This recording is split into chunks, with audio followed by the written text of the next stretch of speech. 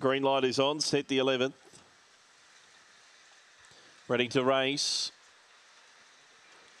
Away they go, winning the start. Crazy Old Fool in the centre. Good speed from out deep. Cryptic Signal. Poppy to Burn was almost going forward and is back centre field. So off the back, around the outside, Nova's Girl ran to the lead from Cryptic Signal. Crazy Old Fool, then Infinite Wish just admitted. Well back, Poppy to Burn and Last Stargazer in the straight. Nova's Girl went for home. Four now, five in front, and it's all Nova's Girl. Nova's Girl beat Crazy Old Fool. Cryptic Signal. Infinite Will ran fourth, and then Stargazer.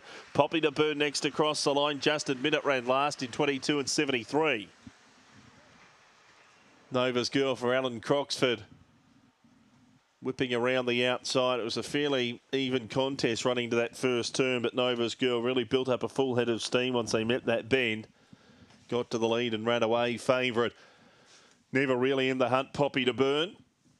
And the winner is number eight, Nova's Girl. She's by Shimmer Barrett of Nova Hard for Alan Croxford at Mount Moriac. Numbers here are 8, 4, 5 and 7.